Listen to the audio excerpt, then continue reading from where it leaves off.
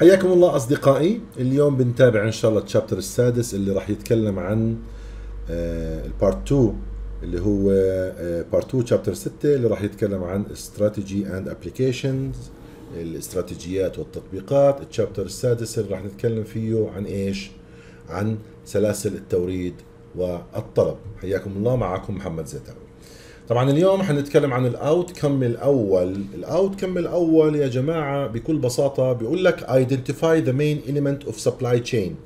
Management and إيش؟ and procurement. Procurement. طيب.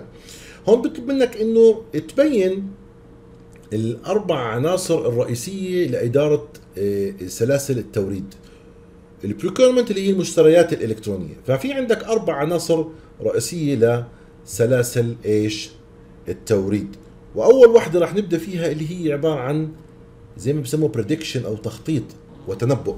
فالتخطيط والتنبؤ هون أنت بصير في عندك عملية تطوير لتوقعات الطلب. وبتتنبأ بالشغلات اللي ممكن تحتاجها في المستقبل وبتخطط كمان لإنتاج والمخزون بناء على التوقعات اللي بتصير عندك. فتخطيط وتنبؤ. ثانيا إدارة المشتريات والمخزون. وهون لازم تحدد المصادر المناسبة للموارد والخدمات وتدير عمليات الشراء وتدير المخزون وتضمن توفر كمان المواد اللازمة اللي بتحتاجها. ثالثا عندك النقل والتوزيع وبرضه هون لازم تعمل تخطيط مسبق لعملية النقل من الموردين لمواقع الإنتاج والتخزين إلى آخره. وبرضه كمان لتسليم العملاء بدك تعمل إدارة للعمليات. رابعا عندك يا سيدي العزيز التكنولوجيا والتكامل. وهون لازم تستخدم تقنية المعلومات حتى تحسن شغلك وكفاءتك. ويصير في عندك هيك زي compatibility ما بين نظام الشراء والتخطيط وتحسن التواصل كمان مع كل أطراف مين؟ جماعة سلسلة التوريد. بالنسبة لل procurement اللي هي المشتريات الإلكترونية اللي هي ال e-procurement بمعنى إنك تستخدم تقنيات الإنترنت والتكنولوجيا حلو؟ في عملية الشراء والبيع.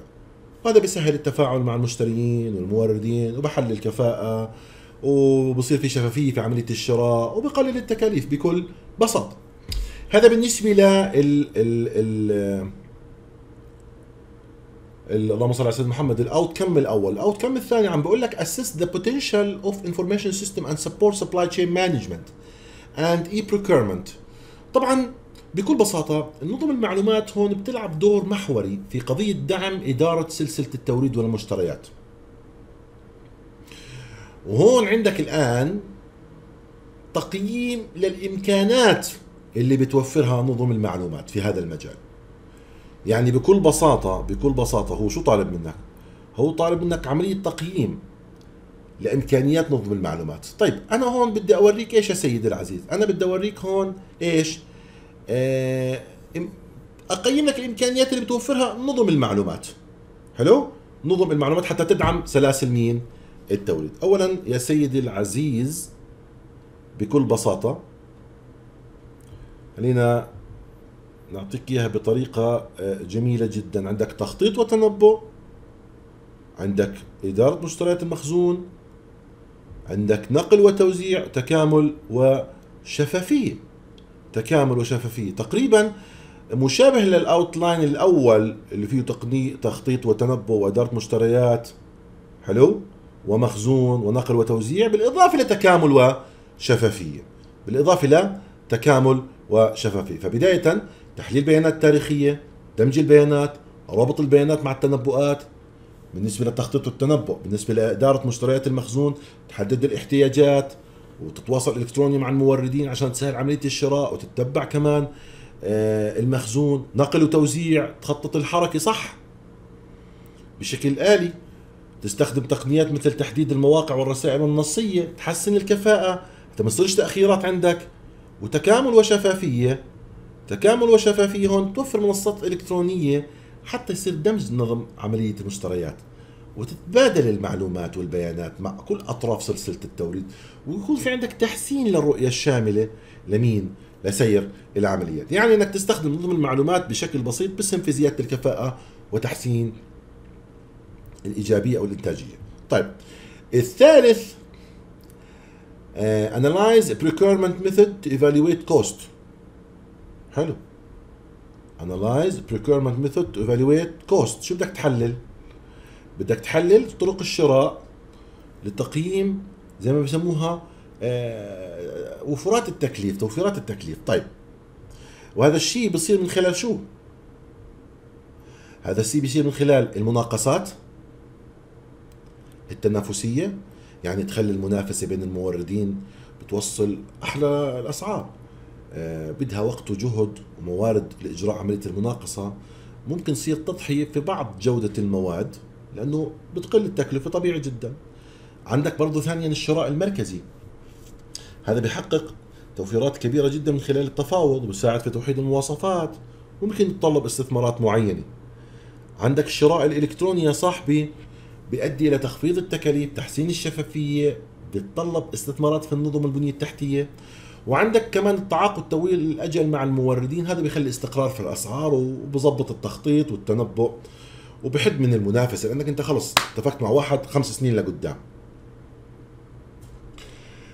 ال management issue أول issue حنيجي عليها اللي هي بقول لك uh, which technologies should we deploy for supply chain management e-procurement and how should they be prioritized تكنولوجيا إدارة سلسلة التوريد وأولويات نشرها. في إطار سلسلة التوريد والشراء الإلكتروني ففي مجموعة في مجموعة. آه خلينا بس نعمل بوز ثواني. طيب يا جماعة بنكمل. إحنا حكينا بالنسبة للتكنولوجيا إدارة سلسلة التوريد آه، وأوليات نشرها في إطار سلسلة التوريد. في عندنا مجموعة من التكنولوجيات الرئيسية اللي لازم ننظر لها في تطبيقها مع تحديات اولياء أولويات النشر. عندنا الشراء الإلكتروني آه، تخطيط المواد المؤسسات تحليلات البيانات الذكاء الاصطناعي نستخدمه ونعمل كمان tracking لسلسلة التوريد هذا بالنسبة للشيء الأولى. الإشي الثاني يا جماعة بكل بساطة which element of supply chain should be managed within and beyond the organization and how can technology be used to facilitate this? طيب لأن العناصر الرئيسية في سلسلة التوريد خلينا نقول آه يعني يجب إدارتها من داخل وخارج المنظمة. حلو. هاي العناصر ينبغي إنه إدارتها بشكل وبآخر من جوا وبرا باستخدام التكنولوجيا. من داخل المنظمة من داخل المنظمة في عندنا إدارة عمليات الشراء. في عندنا التخطيط والتنبؤ والمخازن والتوزيع. هلأ خارج المنظمة بدك تدير العلاقات مع الموردين آه يكون في عندك تتبع لسلسلة التوريد والتعاون مع الشركاء. والتعاون مع الشركاء. الآن ثالثا which method of procurement should we adopt هذا موضوع أهم مهم جدا بكل بساطة. وعندك طرق كثيرة إنك تطبقها لتحقق التوريد الإلكتروني.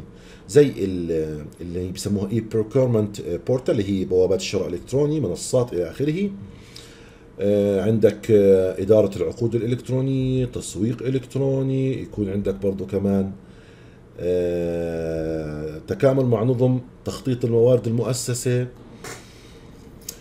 هذه كلياتها بتحقق لنا موضوع آه، اللي هو آه، البريكورمنت طيب آه، رابعا what are the practical issue